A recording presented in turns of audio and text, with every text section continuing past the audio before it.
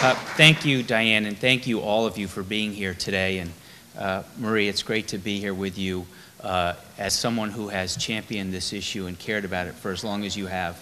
Uh, I'm happy to be on your team, quite frankly. And uh, let, let me just share with you uh, I'm in the Senate, so we tend to talk a lot longer than those in the House, but I'll try to be brief. you know, as some of you may know, Congress recently reauthorized the McKinney-Vento Homeless Act. Uh, the McKinney in the McKinney Homeless uh, Vento Homeless Act was my father, Stewart McKinney. Uh, and as a congressman from Connecticut, I used to spend a lot of time uh, as a kid traveling around the fourth uh, district with my dad. It was, quite frankly, it was the only way I get to see him because he was in Washington during the week. and when I turned 16 and got my driver's license, he would actually have me drive him either to the train station or to the airport when he'd be flying back to Washington or to pick him up. Uh, and sometimes going into uh, the New York airports, we would travel on roads and see uh, empty buildings, you know, no windows. Uh, and he would visibly, he actually, I could drive, but he actually drove. And he would be shaking the steering wheel uh, in frustration uh, that there are people, you know, our brothers, our sisters, mothers, fathers, neighbors who don't have a home. and yet there are homes that are vacant. And how government could never realize and get their act together uh, to provide housing uh, for our neighbors and our friends and our citizens. Uh, and he taught me very early on uh, that it is our right as human beings to have a place we call home. Uh, and I live in Fairfield, Connecticut. I've grown up in Fairfield, Connecticut. You see a picture of Jarvis Court there, and there's Operation Hope, so that's perfect timing in Fairfield, Connecticut. Uh, Megan Lowney, who's here, used to run Operation Hope. they were turning away people at a homeless shelter in Fairfield, Connecticut. Fairfield is one of the more affluent towns in our world. Um, this isn't a problem that belongs to Hartford or Bridgeport. Uh, it's a problem that belongs to all of us as a nation. Uh, it is a national disgrace that we have people that don't have a place to call home. Uh, and I realize this is my 10th year in the legislature. I was lucky enough to go down to Washington, D.C. Uh, to testify before Congress on the reauthorization of the Homeless Act. Um, and that was uh, a wonderful experience for me in many ways. Even the bad parts were wonderful.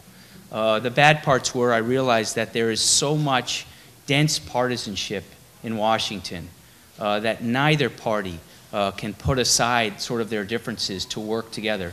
Uh, that we're going to have to do more here in Connecticut to do it for ourselves. Uh, let's not rely on Washington, D.C. let's do it ourselves.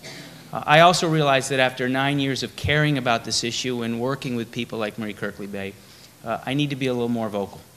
Uh, I need to be a little bit louder. Uh, I need to talk about how it's no longer acceptable to say we understand there's a problem and not do enough to solve it. Uh, so I have said uh, since my day in Washington, D.C., that it's not John McKinney's plan, it's your plan. It's what you've all done and all, what you've all worked for what you've all fought for on the front lines. Uh, I just want to be one of your loud voices here in the Capitol. Uh, and let me just say, it's not even about 650 units.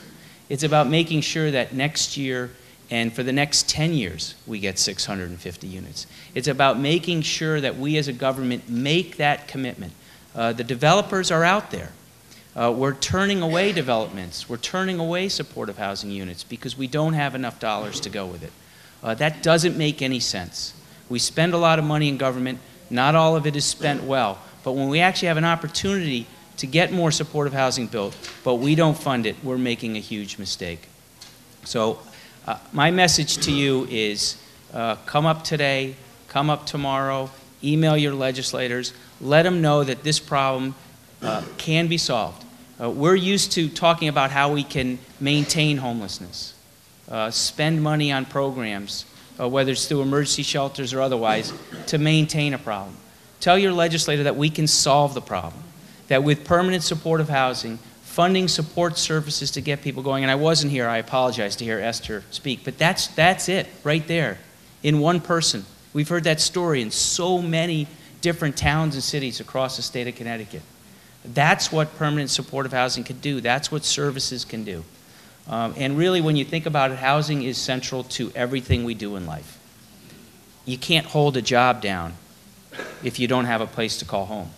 You can't go to school and become educated if you don't have a place to call home. A mother can't educate her children in an emergency shelter or worse, on a park bench.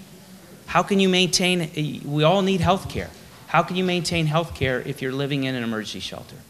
Uh, so everything centers around having that place to call home. That's what is the stabilizing factor in all of our lives. And I, I woke up today in my home with my wife and three kids, and I'll go home tonight to them and every night.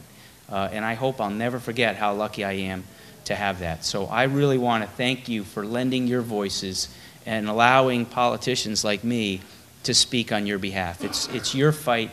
You're doing the hard work. You're doing the real work. Uh, we're just here to help you. Uh, and hopefully, uh, we as a state of Connecticut will get the message. We'll say that homelessness is unacceptable. We need to solve it. And we need to make not just a commitment to 650 units.